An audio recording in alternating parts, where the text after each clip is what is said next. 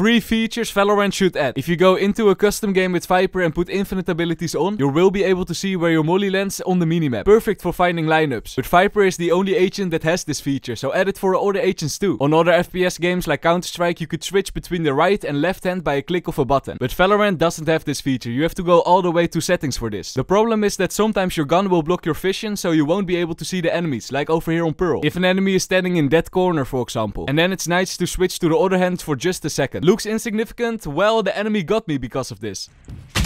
Oh, he's on the right. What? And of course, dear Riot Games, at the replay system. Share your ideas in the comments.